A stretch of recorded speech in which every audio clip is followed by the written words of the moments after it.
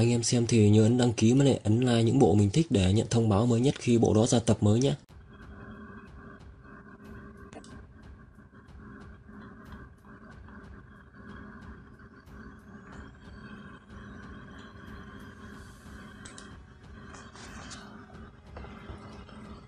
Chẳng qua chỉ có như vậy, quá yếu rồi.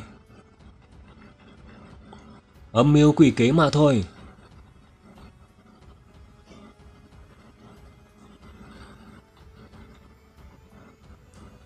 Góc độ này nhìn bản thân quả nhiên là rất đẹp trai.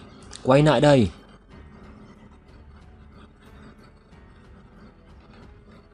Rồi, hơi thở của hồn điện biến mất rồi. Là thật sao?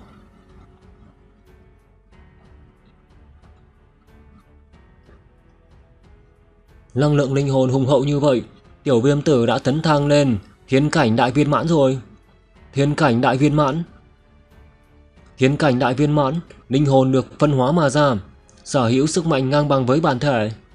Nếu như có thể tấn thăng đến đế cảnh ở trong truyền thuyết, linh hồn sẽ có thể bất hủy bất diệt. Cho dù chỉ còn lại một chút cũng có thể trung sinh. Cấp của linh hồn được phân thành bốn cảnh giới phàm, linh thiên, đế, mỗi một cảnh giới đều phân ra thấp, trung, cao đại viên mãn. Tên tiểu tử này không lâu trước đây tấn thăng đến thiên cảnh hậu kỳ, là hơi thở của cha.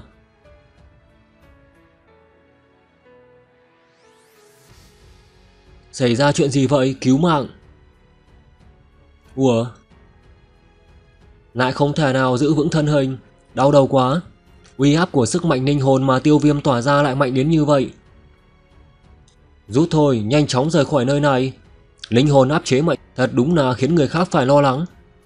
Bớt nhiều nờ đi, bây giờ phải làm thế nào đây?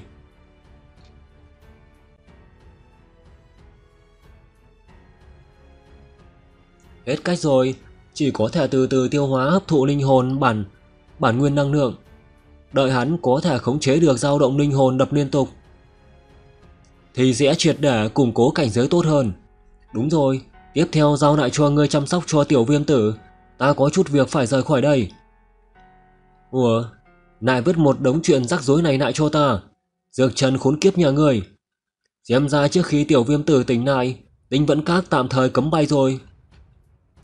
Không chỉ là vấn đề cấm bay, Tuyệt đối không phải là ảo giác của ta. Áp lực thật sự là càng lúc càng nặng rồi. Trên linh hồn giống như là có một ngọn núi đè nén vậy. Không được, Đừng nói là tu luyện. Đứng còn không đứng thẳng nữa thôi. Thiếu các chủ từ lúc nào mà mới có thể xuất quan. Như vậy là quá quấy nhiễu dân rồi. Đúng là ngưỡng mộ Các sư huynh sư tỷ ra ngoài làm nhiệm vụ điều tra. Đúng là không có trí khí. Đối diện với áp lực Các người chỉ biết bỏ cuộc. Đây là uy áp của thiên cảnh đại viên mãn đấy. Hiếm khi có được cơ hội tôi luyện được linh hồn Kiên trì càng lâu thu hoạch sẽ càng lớn. Chúng ta phải biết trân trọng mới đúng. Thánh Loan Sư Tỷ nói rất đúng, nực linh hồn thăng cấp khó nhất, không thể nào lãng phí cơ hội mà thiếu các chủ tạo ra cho chúng ta. Xem thử ai kiên trì càng lâu, ta sẽ không thua ngươi đâu. Ừm, đây mới là đệ tử tốt của tinh vân các. Thánh Loan Sư Tỷ tỷ đi đâu vậy? Ta là đại sư tỷ, đương nhiên là phải khiêu chiến độ khó lớn hơn, không thể nào làm mất mặt của sư phụ được. Kiên trì. Càng lại gần tiêu viêm sư huynh, áp lực của linh hồn lại càng mạnh, hiệu quả của tu luyện lại càng tốt hơn. Sư huynh có thiên phú tốt như vậy còn liều mạng tu luyện, chúng ta có tư cách gì mà không cố gắng. Ai thật là nhàm chán, sắp hai tháng rồi, rốt cuộc lúc nào cha mới tỉnh lại vậy? Sắp rồi ta có thể cảm nhận được dao động của sức mạnh linh hồn càng lúc càng nhẹ nhàng hơn rồi. Áp bách cũng càng lúc càng nhỏ đi. Tiêu viêm đã khống chế gần được rồi. Ở sâu trong linh hồn cổ ta có thứ gì đó còn đang đập liên tục. Nghĩa nào?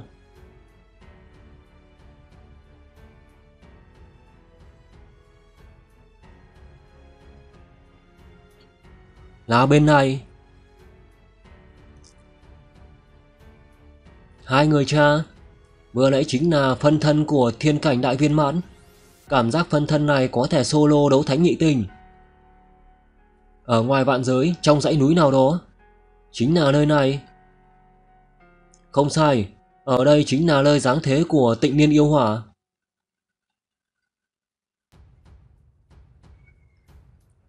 Ngươi chính là tiêu viêm, ngươi chính là tiểu bối tiêu viêm của tiêu tộc đúng không?